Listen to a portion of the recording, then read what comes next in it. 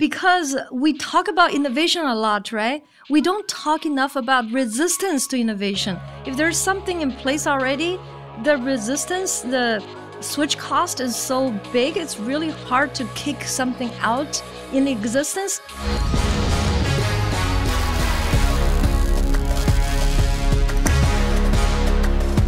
Thanks for joining us on Forging the Future. And I'd like to welcome Sunny Zhang, founding partner of Born Global Ventures, founder of TrueLeap, and a marketing professor extraordinaire at the University of St. Thomas. Sunny, what don't you do? Thanks, Chris. welcome to the show. To be here. Yeah, finally we get to sit down and have a conversation.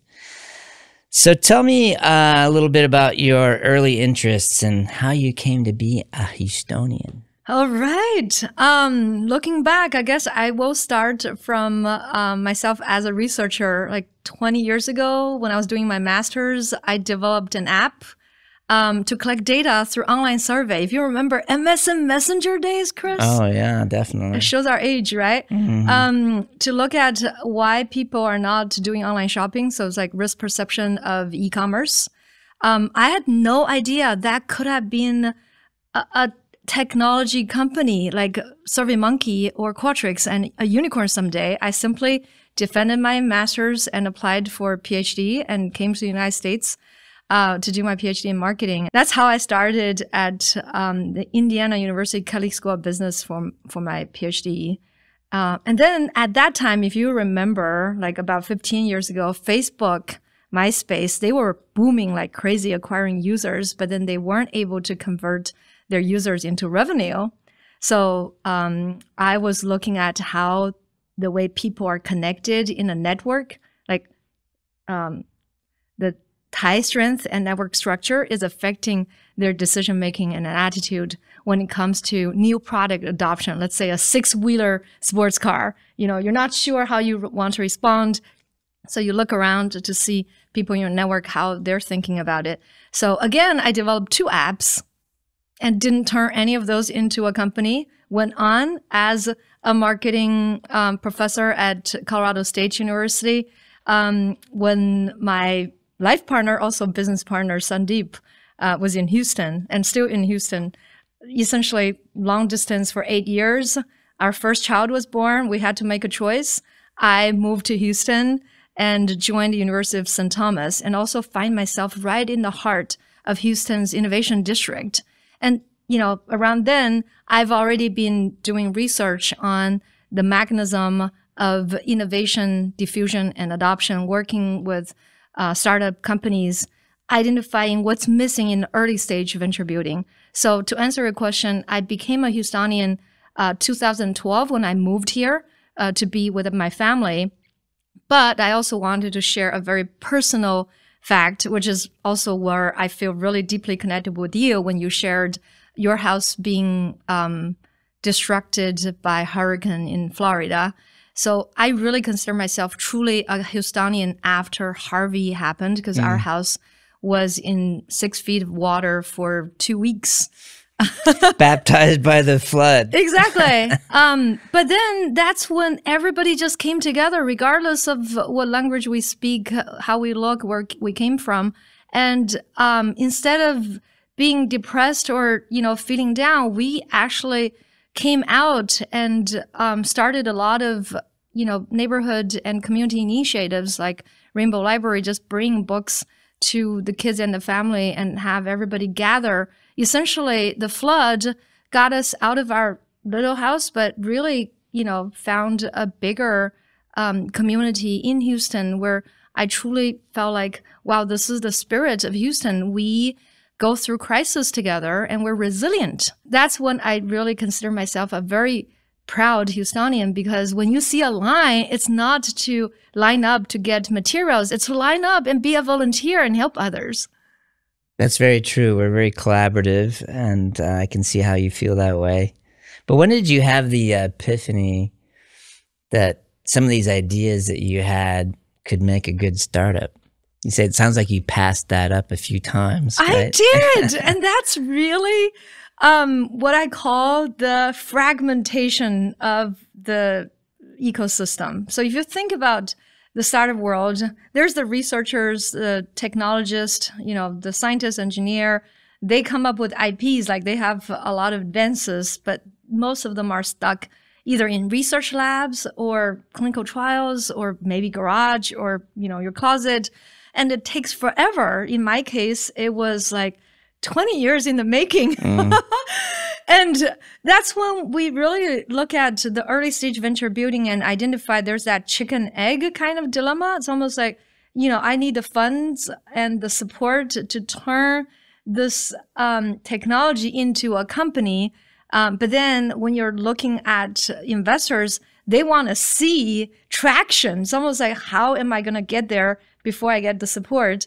And that's really what motivated us to have a one stop shop where you're not only getting the fund, but also the support um, to have all it takes. And I believe that is really the solution to bridge that gap or so called valley of death. Mm. Um, because if you look around, you know, there are all kinds of service providers, but they're really divided and you have to piece them together. And a lot of time, energy, and capital is wasted. So eventually we dis, uh, we believe that uh, we, we believe that the venture studio model is the solution to build startups much cheaper, faster, with higher success rate and higher return. And so that's when you decided to start Born Global Ventures. That's exactly. Which is a decided. venture fund and a studio, right?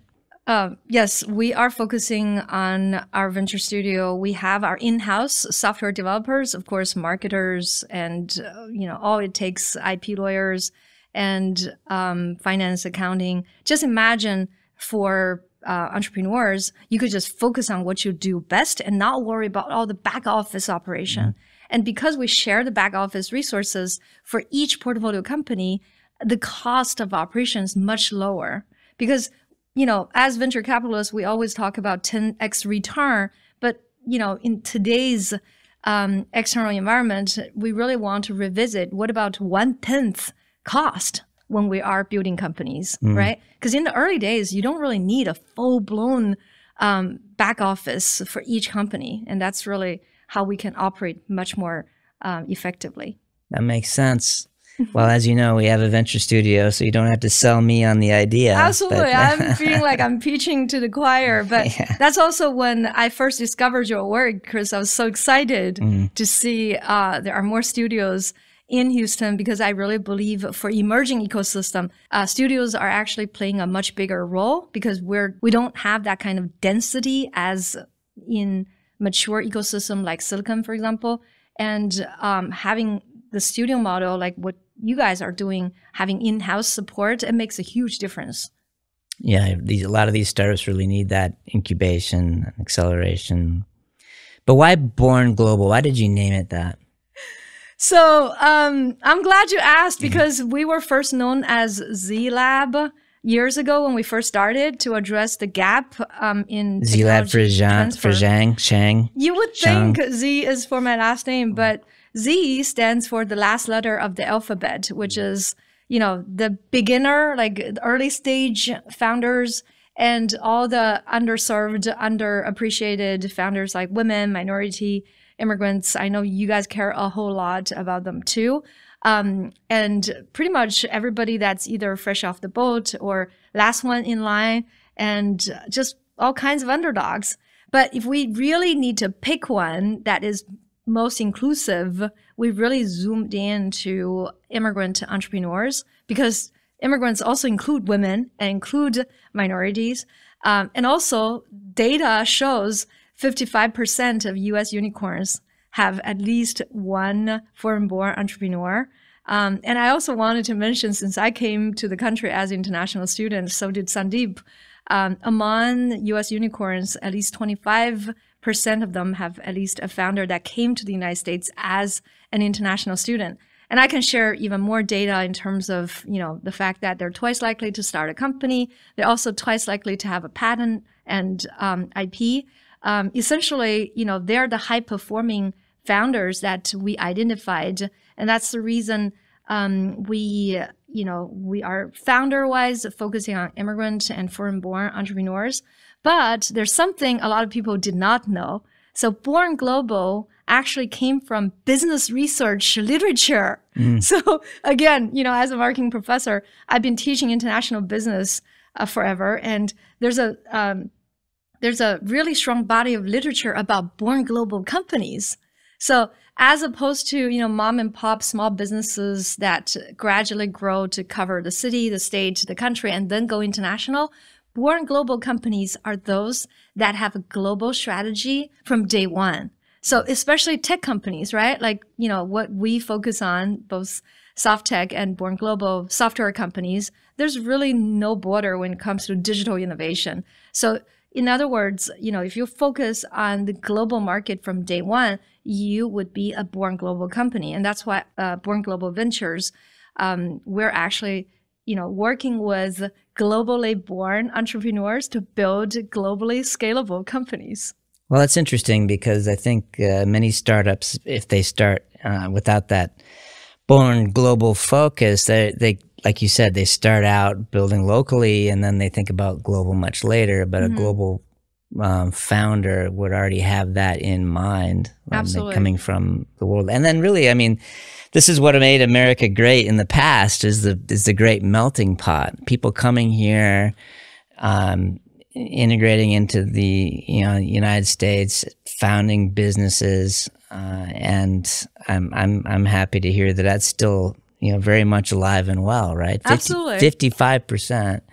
And so when people talk about closing borders and some of these other things, right? I mean, you really have to keep in mind that uh, the land of opportunity is what's drawn people here to found those businesses and then they become global businesses and, and forces in the world. Um, so, um, now you've been teaching for over 20 years. Um, what else do you think is critical uh, for startup businesses to consider? All right. So, because um, I teach marketing and, of course, management, entrepreneurship, e business, mm. um, what I'm seeing is I think when, pe- when founders are building they are focused on the product and not as much on the marketplace. Mm. So there's this debate between so-called product driven versus market driven and I'm 100% market oriented because when it comes to product market fit, right, you know, that's really where you have to have your, your validation.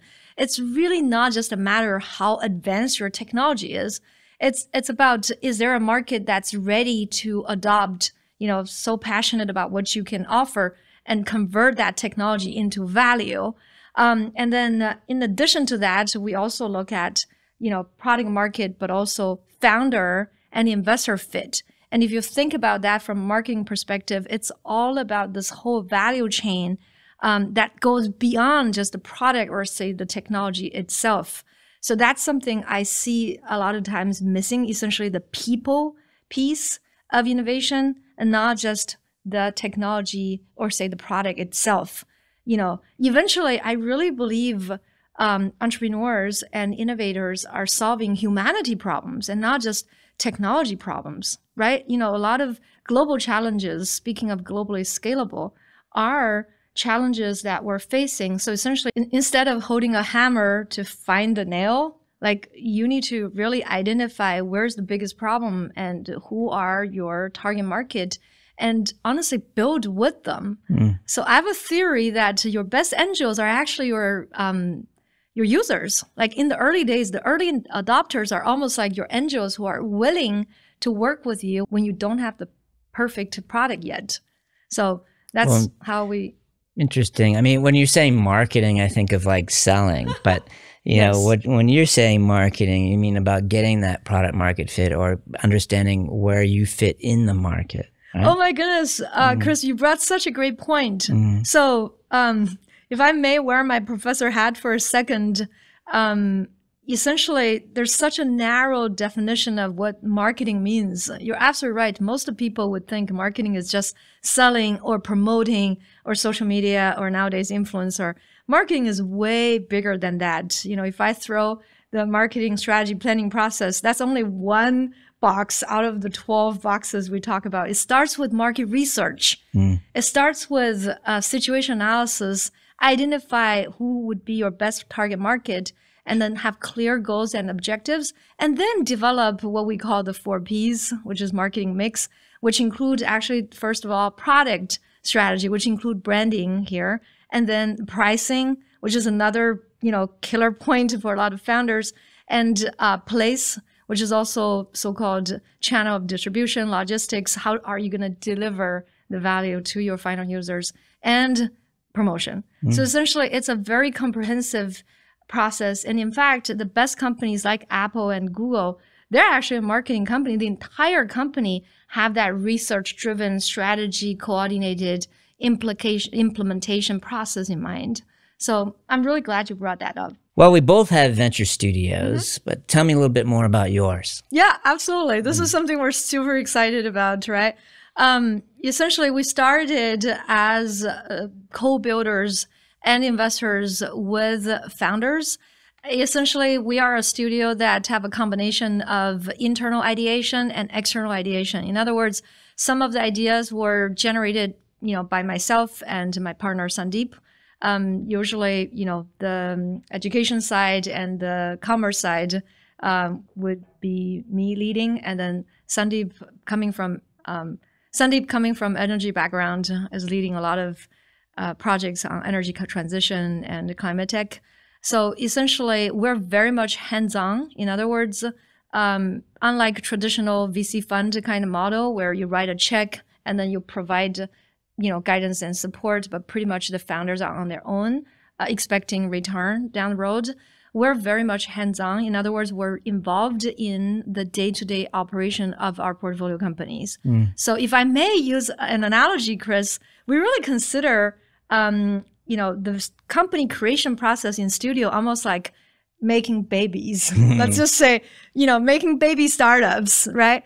Um, essentially we first of all want to have the house where the baby can share toys books clothes which uh, reduce the operation cost and share the same back office and we also want to pace the babies so we don't have let's say 10 of them all going to college mm. and applying and doing the field trips we want to pace them so that um, you have a kid that's going to college, you have another one that's entering into high school, you have another one like in kindergarten, so that there's sort of. So, how many babies do you have at one time yeah. in the studio?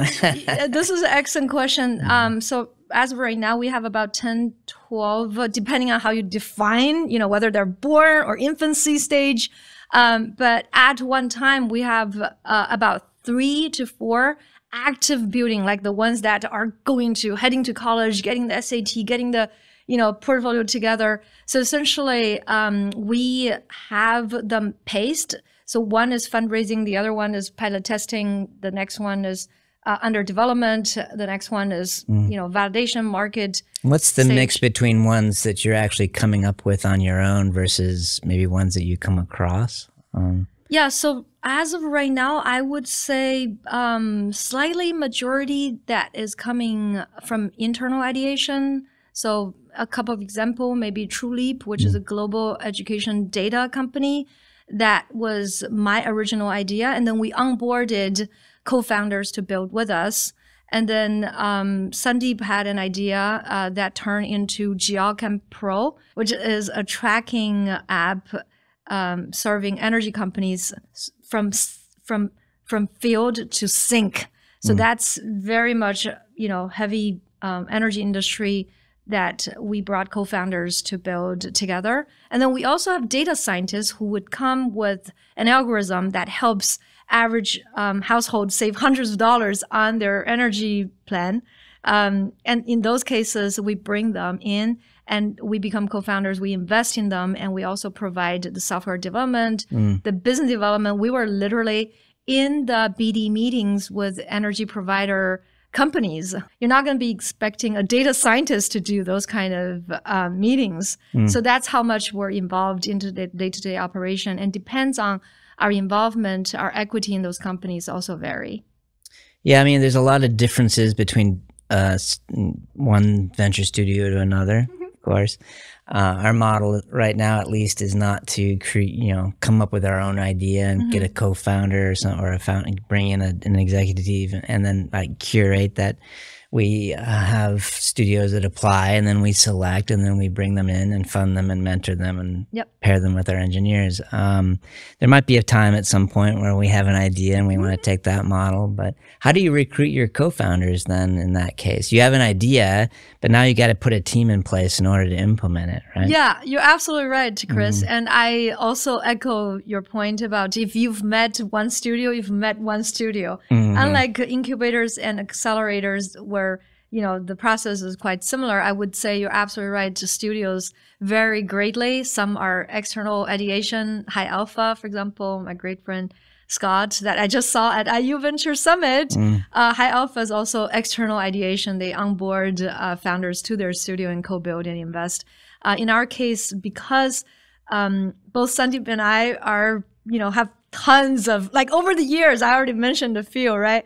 Um, tons of ideas that we validate. We're very uh, rigorous in terms of the market validation process. It's not just like, hey, we have a studio, we're just going to have fun with our ideas. We actually work very closely with our users to validate before we decide that is uh, a idea worth pursuing before we start building. So validation early stage is very important before we even bring um, co-founders on board. Where do you find those co-founders though? Yeah. So to answer your question, it is number one, the network we've built over time. Myself coming from academic background, you know, um, close ties with researchers, scientists. Um, but then on the other hand, Sandip also has tons of really amazing world-class experts from his um, over a decade uh, experience from the the energy industry. So essentially, from our own network to start with.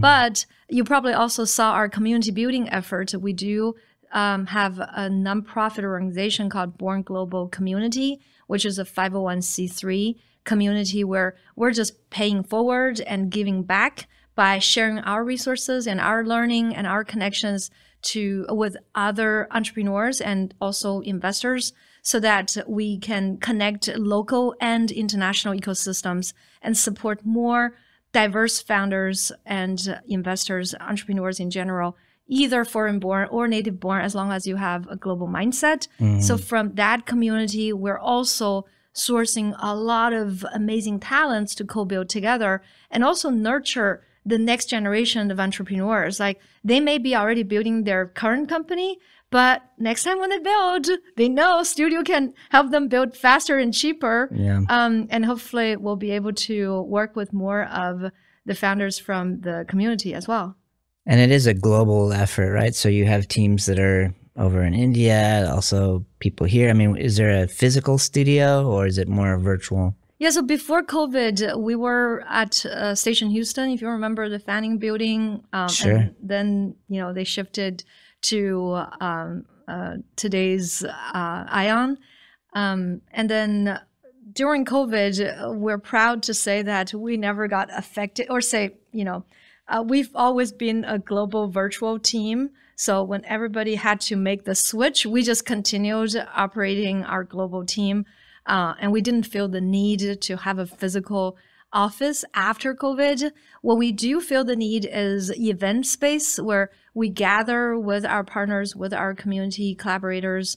Um, and when when we have event need, uh, we're blessed enough to have local partners that have the event space. They're looking for content providers and community to contribute. So essentially, it worked out that we we still have ongoing in-person event as well as online programs, Yeah. partnering with our community strategic partners. hmm Yeah, I believe so. Well, um, in venture capital, everyone is looking for a unicorn, right? And but should a startup's goal to be to become a unicorn? Well, especially right now, it seems like the unicorn um, birth has been on hold. And we have to reconsider like, are we all looking for unicorns? And at this environment, again, you know, going back to Houston's feature resilience, right? We really believe it is the cockroach founders we should be Yeah. looking for because they cannot be killed. If you mm. remember, I know you're also a big sci-fi fan.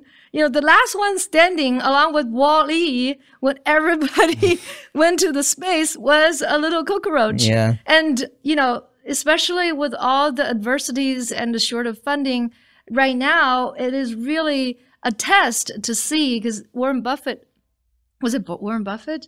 Had a quote. Uh, it's only when the tide goes down Yeah. you see who's swimming naked. Yeah. So I actually believe right now it's a great test to see who are building substantial companies and who are the most resilient founders that cannot be killed. And if I put, you know, a better word, maybe um, we could also call them a phoenix founder. In other words, you just keep killing them and they'll come keep coming back to life. And we believe immigrant founder have that kind of um, uh, we, we believe immigrant founders have that kind of characteristics because usually they've been through a lot of hardships. Almost like, bring it on. We've seen worse. We've been through tougher situations. That has to be uh, on the application. Are you a cockroach? we do ask, give us an example um, of you facing hardship in the past and show our resilience. So definitely, you know, we, we want to find out if they can, um, if, if they can handle tough situations. Well, there's four quotients, right? There's IQ, EQ, SQ, Yep. and the fourth one for startup founders is AQ. Okay, which is adversity quotient, which is about the cockroach. Although I think cockroach is not such a as not as a sexy term as unicorn. I I, I want to try to change it to tardigrade. Yep. You know, because that's another, you know, the little water bear, water That's bear. right. You know, that thing you can't kill either. That's right, So that's right. It's a little more sci-fi for me. So Yep. we're looking for tardigrade founders um, and startups. Uh, well, what can we improve in the current venture studio model to maybe better equip the startups besides uh, give them a um, roach, um, keep them away from the roach motels? Absolutely.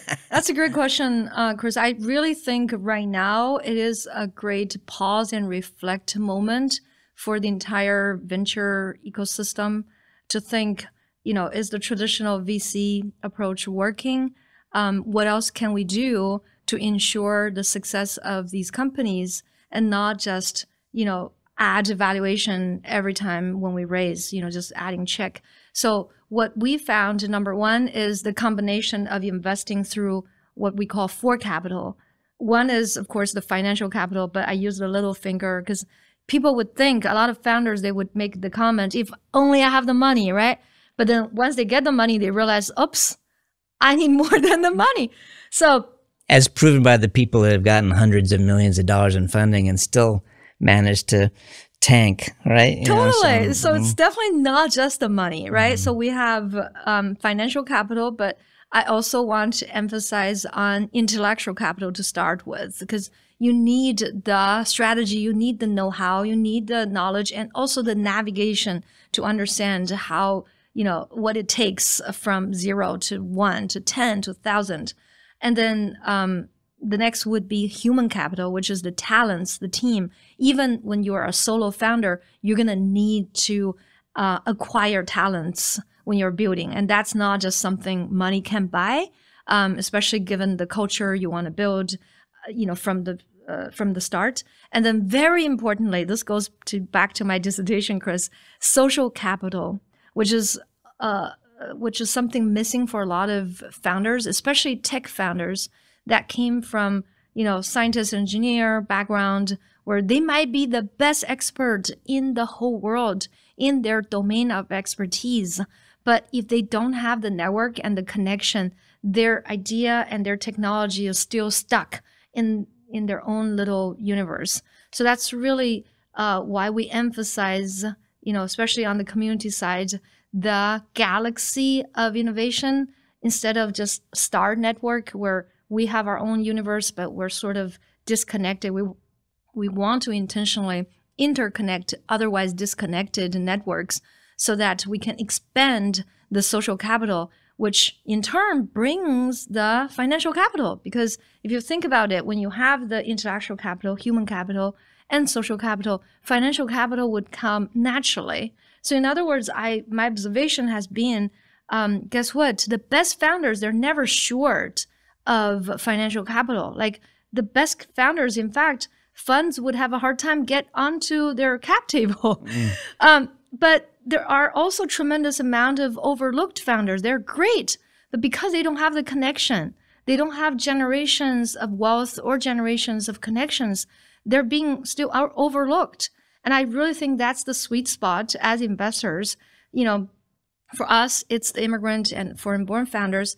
They're brilliant, you know, performance wise, we have solid data to show. But then on the other hand, because of lack of social capital, they're still, you know, disconnected uh, with financial opportunities like this. So that's sort of the paradox, right? You know, great founders never short of capital, but then there are tons of brilliant and resilient founders, um, high potential, high performance, but you know, lack of connection. Does the studio model help solve that problem? Yeah, absolutely. That's why we believe studio is not just a builder; it is the entire, almost like ecosystem universe.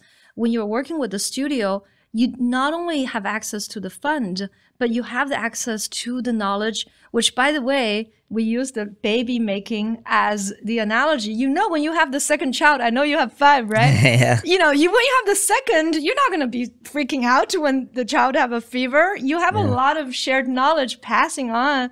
So essentially, you know, there's a lot of uh, intellectual capital that mm. you can put into your portfolio company, and not to mention the shared talent pool the studio have. And you know, as a studio, we're constantly building investor relations. We're actually gathering the talent pool, and that can be shared across our portfolio companies. So when you're raising as an individual company, you don't have to, you know, reinvent the wheel and build from scratch because you can just tap into the studio resources. So that's why we believe um, and data also shows a studio can build much faster at a lower cost. Now, um, um, speaking of those types of startups, you did start uh, founded. You founded TrueLeap. Yes. Which is uh, your latest startup. Tell me a little bit about what that is and what kind of problem you're trying to solve. Yeah, that's almost like our third, third child, mm, right? Okay. It was born out of my 20 years of teaching experience and frustration of current learning management system. So I don't know if your kids use Blackboard or Canvas in their study or your grandkids. We homeschooled, so we took the uh, the harder route. oh, but you essentially, you know, didn't have to bother uh, dealing with those dinosaurs, mm. what I mm. call.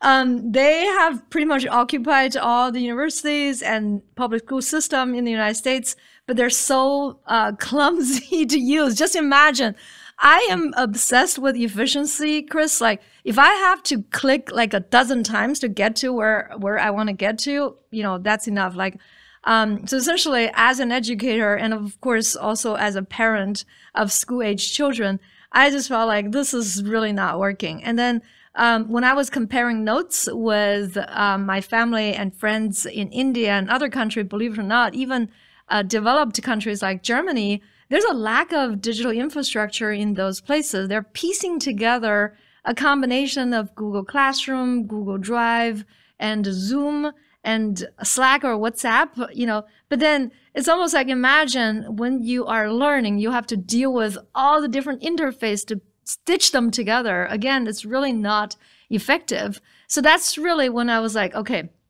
um, on the one hand, I really am proud that my students were probably the most prepared when we switched from in person to online because I already adopted all the you know tech stack uh, in my teaching. But then uh, what I saw was my kids were struggling because they switched online, and I never used to worry about their academics. And then I realized they were behind. It turns out you know, it's so hard to keep up. The communication is really not ideal. And as a parent, I almost felt like it was a test for me. Mm. And, you know, it was really hard for also teachers to navigate. I have friends who teach in Atlanta, who's also part of the Women in AI cohort. Um, I was, you know, advising at the time. And turns out they had to go through two weeks of training. So essentially, it's just not working. And um, that's when I decided, okay, we're gonna fix this. We're gonna we're gonna develop the most user friendly and cost effective learning management system as the starting point of a global education data company. The reason is imagine there's tons of engagement data that's not being captured. Like the moment you finish a Zoom meeting, like all the chats are gone, all the engagement data is gone. It's not really captured throughout. So essentially, by starting with a learning management system that not only provides um, the interface for the students and the teacher, we also have a lot of insights through a data dashboard for the administrators. Imagine if they have hundreds of schools all over the country, they want to have a one place where they see what's happening. Um, and that's missing too. And that's the reason we started developing with um, some of my you know school principal friends in the united states they have private school like literally building with the users but then we also uh, very quickly realized the scalability is day and night because in India, one school would be like tens of thousands of students, and one private school system have hundreds of schools. So essentially, one contract can get you millions of students, and that's the reason. After initial pilot, we then went to India and did 10 successful pilots. We're really excited, especially in the context of the AI boom everybody's doing like ChatGPT plugins, mm. but that's really um, not the key. That's going to be hyped down.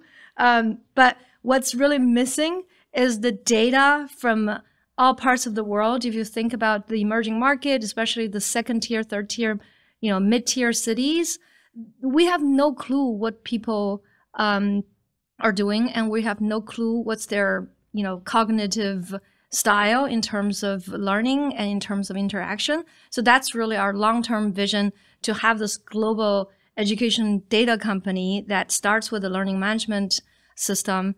Um, you know, go to greenfield. There's no no Blackboard or Canvas dinosaur to kick out. They they have a blend state. Mm. So essentially, market penetration is going to much faster. And then down the road, with content management um, and other components to drive the data insight, which will then provide more customized uh, learning solutions for those markets. Sounds great. And really, I mean, this is what happens in some of those greenfield markets is that they leapfrog some of the others because you have to deal with that infrastructure and the incumbent and the software that's not very good. You would think this would all be solved already, but it is a heavy lift to get those out and a new solution in because, hey, we've always used this.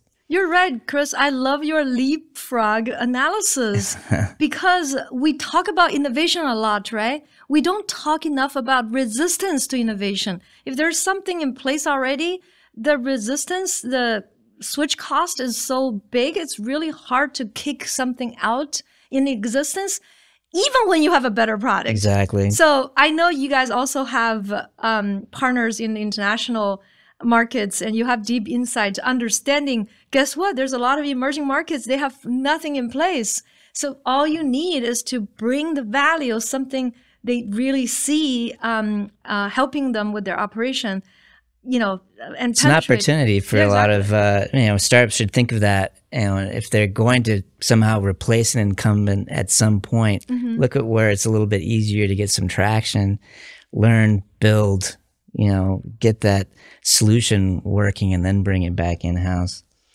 Well, what advice would you have for aspiring entrepreneurs who are considering working with a venture studio or starting their own startup? Um, so my advice would be stay close to your market, stay close to your users, stay close to your customers. Um, I think we've been through the chasing investor kind of stage and we've seen that um, valuation adjustment happening right now, a lot of bubble bursting. We really need to get back to the value chain when we are really delivering value and getting feedback from the users. Essentially, shift that mindset and spend more time with your team, with your uh, users, and deliver something they really love and then they will become your angels and your advocates and your marketing team essentially mm. and get the word out and you know for you to take over the world but really stay close to your users your customers and your market and then also keep in mind nurture your investor relations so that they know they can see how you're um, conquering all the obstacles along the way but i really think your best friend right now would be your users and your market. Mm, interesting. Well, thanks for that, Sunny. Um, you know, I like crazy socks. right? So I think I have something for you here for being on the show. Oh, from the treasure box. Yes. I always wonder. box. So here you go. Fantastic. Teacher socks Oh, on my there. gosh, So. teacher socks. Thank you so much. Well, thanks for your insights and good luck with everything you're doing and building. And uh, you're a force here in Houston, and we appreciate you being here. Love the uh, inspiration that you're giving across the board. The venture breakfast that we're starting on a monthly basis. Uh, you've got your finger and everything. So, thanks for that. Thank you so much, Chris. It's always a pleasure, and I love uh, seeing the exciting happenings at Softeq, and look forward to more collaboration down the road. Absolutely. Thanks for having me. Sure.